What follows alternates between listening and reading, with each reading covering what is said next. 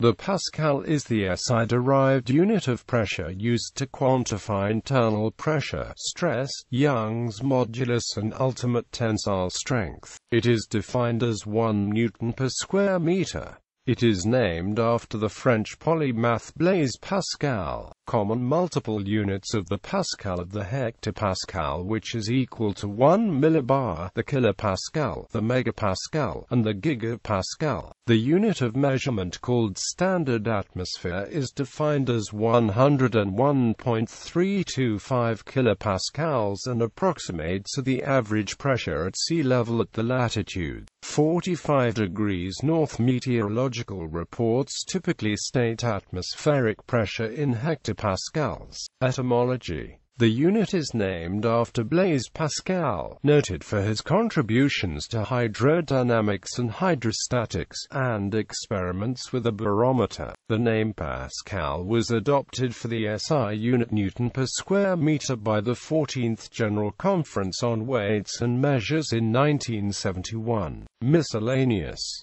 the unit of measurement called atmosphere a standard atmosphere is 101,325 pascals. This value is often used as a reference pressure and specified as such in some national and international standards, such as ISO 2787, ISO 2533 and ISO 5024. In contrast, IUPAC recommends the use of 100 kilopascals as a standard pressure when reporting the properties of substances. The Unicode computer character set has dedicated symbols U plus 33A9 square PA and U plus 33AA square KPA in the CJK compatibility block, but these exist for backward compatibility with some older ideographic character sets and therefore therefore deprecated, uses the pascal or kilopascal as a unit of pressure measurement is widely used throughout the world and has largely replaced the pounds per square inch unit, except in some countries that still use the imperial measurement system, including the United States. Geophysicists use the gigapascal in measuring and calculating tectonic stresses and pressures within the Earth. Medical elastography measures tissue stiffness non-invasively with ultrasound or magnetic resonance imaging, and often displays the Young's modulus or shear modulus of tissue in kilopascals.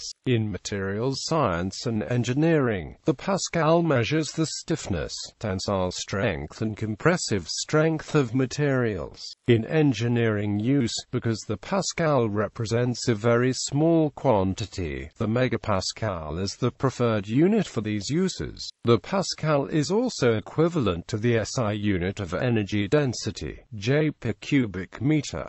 This applies not only to the thermodynamics of pressurized gases, but also to the energy density of electric, magnetic, and gravitational fields. In measurements of sound pressure, or loudness of sound, 1 pascal is equal to 94 decibels SPL. The quietest sound a human can hear, known as the threshold of hearing, is 0 decibels SPL, or 20 micropascals.